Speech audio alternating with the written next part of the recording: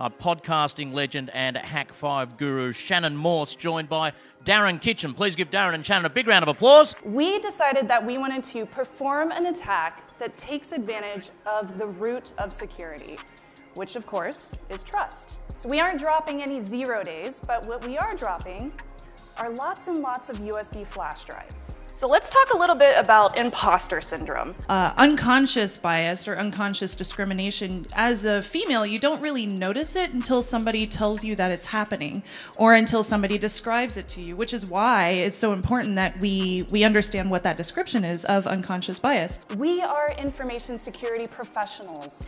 We are influencers in this industry. I felt like there was no place for beginners to go if you were interested in information security or open source. So I became that resource. Do we, as security professionals, actually practice what we preach? Codes of conducts have become much, much more mainstream. Even in anime conventions and InfoSec security conventions, we've seen more of these codes of conducts. And that tells us that the industry as a whole is getting a lot more diverse. And we need to be accepting of that diversity. There, it's, it's not just about discrimination against women, but it's also discrimination against people who have kids. If we, as information security professionals, cannot be trusted to follow flash drive security best practices and protocols, how are we going to expect our own users to follow this as well? I'm trying to learn Morse code right now on my phone, and it is so hard. It is so hard. But I'm a ham licensed operator, and my last name is Morse. So I was like, I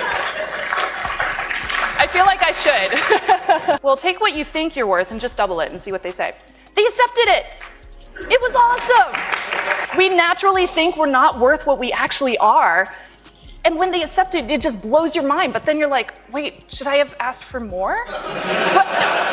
if you don't control and manage your brand, others will do it for you. So when I see a young girl that comes up to me at DEF CON and she tells me that she's been watching the show since she was five years old, and she's nine years old now and she wants to get a job in information security, that's what I'm doing this for. You wouldn't believe it, having just seen it. That was Shannon's first ever keynote at a conference. So give her a round of applause. That was just wonderful, guys. Wonderful, wonderful Thank stuff. You.